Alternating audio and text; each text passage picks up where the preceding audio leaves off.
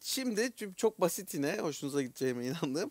Boşluksa doldur bölümündeyiz. Yani bir boşluk doldurma ama yani boşluksa e, dolduralım. E, basit bir şeyle başlayalım yine. Hayatta dinlemekten en çok keyif aldığım enstrüman nokta noktadır.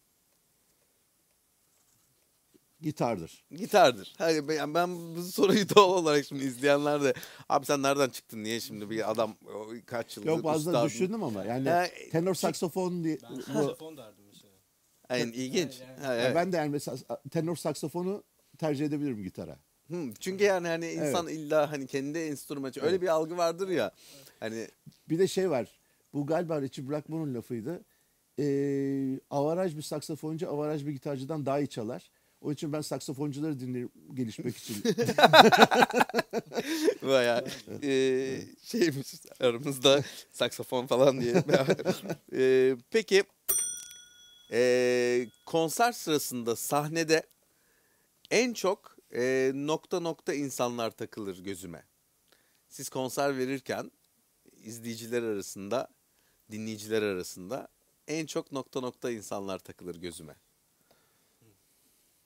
Ee, müziğe kendini kaptırmış. Evet yani vücut diliyle çünkü sonuç Evet, itibariyle böyle evet. hey hep beraber Öyle gibi bir konser ortamı Değil, yok. evet, Vücut dili böyle şeyle, bakışıyla veyahut da şeyle. Ritim Evet, tutması evet, ya da evet, şey yapması. Peki e, konserlerden sonra nokta nokta yapmadan eve dönülmez. Müzisyen arkadaşlarla sohbet etmeden. Evet bunu tahmin etmiştim. Kendime 10 puan diye. yani, çünkü e, yine e, yani Nardis'te de gördüğümüz kültür ne kadar yani orada herkes açık e, sahneden inildiği zaman e, yukarıda sohbet ederken de aslında zaten jazz kulübün e, olayı odur. E, Evet. etkileşim vardır Evet. insanlar arasında. Geçerler, yürürler. Ha- Benim de hayalimde canlanan hep yani hani bitti, bitti oturduk hep beraber bir sohbet, muhabbet.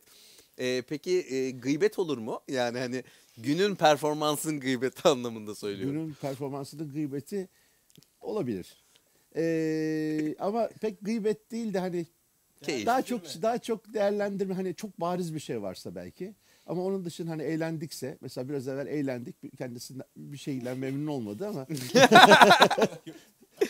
Burada 70 milyon falan diye şeyde e, bir de İstanbul dışı konserlerden sonra genellikle konser salonlarında oluyorlar.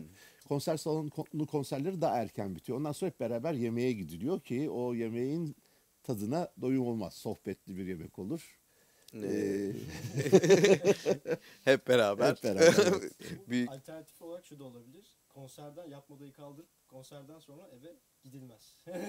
Ha direkt devam da edilebilir Evet, eğer yani. turne havasındaysa bağlama durumu. Bir Ferit işte sabaha mı hazır olur.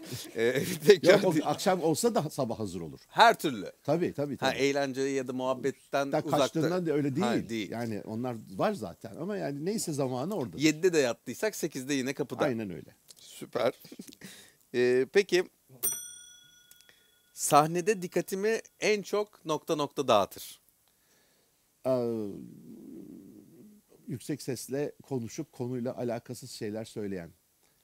Yani hal- söyledikleri hala var. hala oluyor hala mu yani oluyor, kaç hala yıldır oluyor. bir kültür yerleştirdiniz. Bir de böyle Türkiye'de. şey var. Hani bazı şey en çok duyulan sesler e, orta orta tiz seslerdir. Yani orta mid sesler daha doğrusu. Pardon, high mid. Yani Yüksek- yüksek, mid o- seslerdir. Bazıları insanların doğasında öyle bir ses var. Böyle matkap gibi geliyor o ses. Yani şeyde böyle ortalığı delerek geliyor. Bakıyorsunuz koskoca kulüpte bir kişiden sadece ses çıkıyor ve ama bütün şeyi dikkati dağıtıyor. Bir keresinde yani Nardis öncesi bir yerde çalarken tam böyle bir balad ne bileyim ben işte. Tam bunun üzerine ben soloya başladım. Oradan bir ses geldi. Ya Kızıl Toprak'taki bisiklet tabircisi harika dedi. Pardon mikrofon. yani Ben gitarı bıraktım. Şey soda almaya gittim şeye. Çünkü yani şimdi ne çalsam yalan. Onun üzerine. Aa. Çok iyi. Çok... Ya aslında ben e, şöyle bir fikir e, şu anda geliştiriyorum. E, zaten hani e, dünya caz kulüp hani kültüründe de vardı. Sessiz ol. Yani esasında uyarıyı yazmak bile bence artık hani gereksiz Evet. olmasına rağmen acaba şu e, psikolojiye soksak dinleyiciyi nasıl olur? Her masaya küçük mikrofonlar olsa. Yani aslında senin oradaki e, yani tabii ki çok yüksek e, seste değil ama tuttuğun belki ritim de olsa oradaki varlığın otomatik mekana dağılıyor olduğunu bilsen Bunu indirekt metotla yapıyoruz. e, indirekt Şöyle e, şimdi bir kere zaten hani insanla konuşmayacak diye bir şey yok. yok. E, dinleyiciler yanlış anlamasın. Konuşulacak. Sadece nasıl otobüs durağında da bağırarak konuştuğunuz zaman başkasını rahatsız ettiğiniz gibi caz kulüpte de bağırarak konuşulunca başkalarını rahatsız ettiğini bazı insanların anlayabiliyor olması lazım. Ama bazen e, şirazesinden kaçıyor. Şimdi biz bunun tam şeyini yapıyoruz.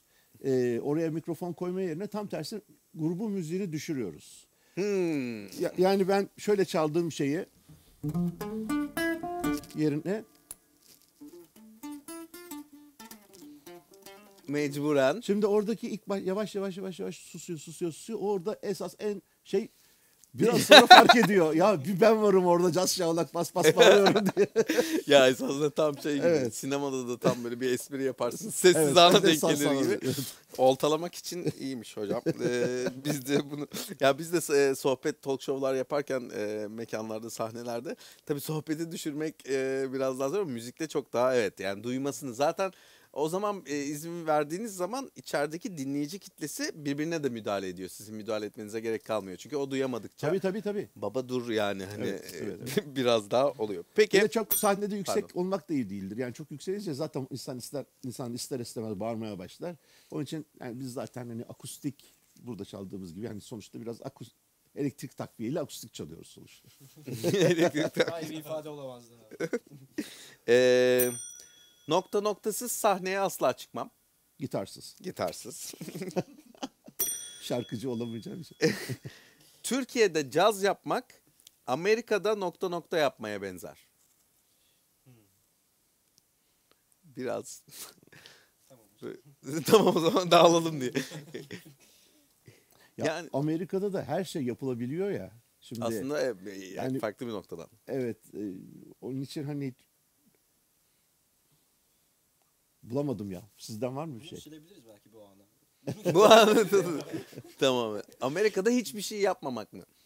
Ha mesela çünkü Amerika'da hiçbir şey yapmayan bir sürü insan var ama yani çoğunluk hep böyle bir koşturuyor, bir hareket yapıyor, bir şey yapıyor, bir üretiyor falan. Belki öyle diyelim. evet. Öyle öyle Güzel. diyebiliriz. Peki evde gizliden gizliye nokta nokta dinlediğim doğrudur. Yani ben başka şeyler dinlerim de onu hiç gizlememe gerek yok. Ha, e, güzel. Yani burada esasında yakalamaya çalıştığımız e, şey hani herkes her tarz müzik dinliyor olabilir. E, aslında bu soruyu yazdığımız zaman ekipten bir arkadaşımız da zaten şunu söylemişti tam. Yani bir müzikten utanılabilir mi? Yani Yok, hani hiç öyle bir şey yok. ne olursa olsun Evet. yani sonuç itibariyle hani bundan şey gizliden gizliye itiraf ediyorum. Ben de işte e, XX dinliyorum. Lady Gaga dinliyorum demek yanlıştır aslında. Yani Tabii, tabii, tabii canım hiç yani herkesin yaptığı bir iki yıl kıymetli sonra görmeyeyim. Evet. turnede değil mi? Değil mi? Lady Gaga'yla turnede. Böyle vatkaları takmışsın mesela. E, o çekinilecek bir şey yok, yok. hiçbir şey yok. Peki e, en çok şaşıracağımız ne dinler? Yani şimdi sizin belli bir imajınız var, belli bir kimlik e, var bunca yıldır. Önder Focan da bak o da dinliyormuş. İşte Ee, Ben caz dışında en çok e, rock ve Türk sanat müziği seviyorum. E, halk müziği seviyorum ama yani Türk sanat müziğini halk müziğinden daha fazla seviyorum öyle diyeyim. E, ama eğer hani cazdan sonra ilk dinleyeceğim müzik rock benim. Hı hı. Ee, esasında Türk sanat müziği ile ilgili şunu e, sormak da istiyordum. Oraya geldi tam. Ee, siz füzyon diyorsunuz e, bildiğim kadarıyla. Evet, Yani onu Caz deniyor, ve e, yerel bir takım e, müzikleri, ezgileri birleştirme. Buna nasıl bakıyor Önder Focan? Şimdi be- bana göre yani bu, aslında füzyona bazen şey yapıyorlar. Hani o böyle bir satışa getirme kafası veyahut da Hmm. çok ticarileşme gibi bakılıyor bazı şeyler için. Onu da zaten genellikle pop caz için kullanıyorlar ki birazcık e, smooth jazzla da karışıyor. Aslında smooth jazzdan da biraz farklı fü- füzyon diye çıkan o 70'lerde öyle dendi. Aslında füzyon iki şeyin birbirine yapışması anlamına geliyor. Caz zaten kurulduğu anda bir sürü şeyin birbirine yapışmasından oluştu. İşte ilahiler, Fransız bando müziği, e, şeyler, e, Afrika Afrika ritimleri falan filan.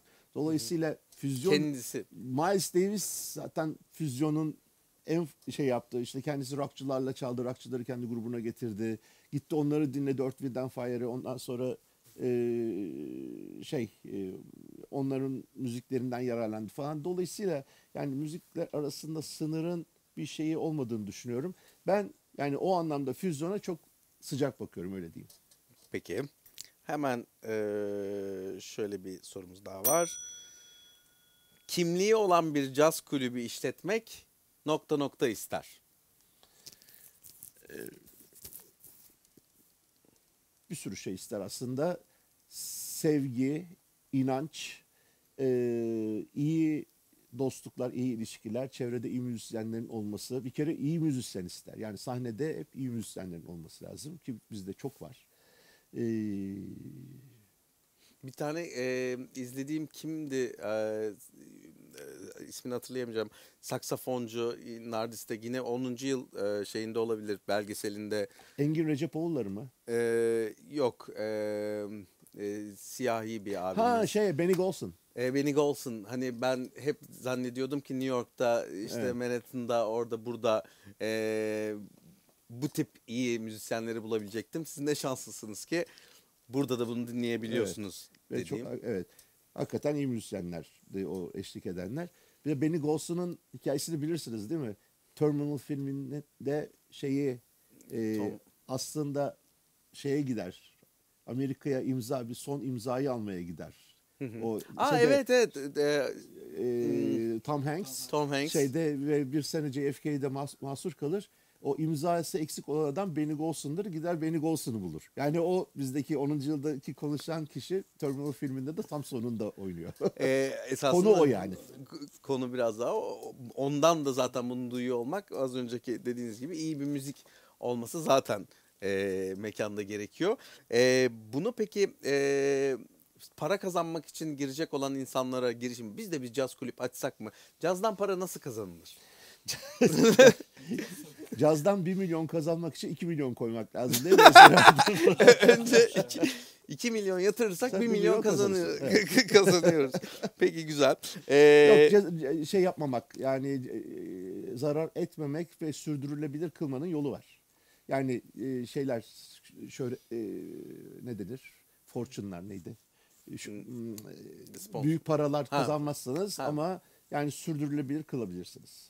E, yeterince destek alıyor mu peki Türkiye'de? Yani kendi yağında kavrulması dışında e, Şimdi şöyle e, sponsorlar iyi kötü hala var. Ama yani onlar yani bir şekilde azaldılar maalesef.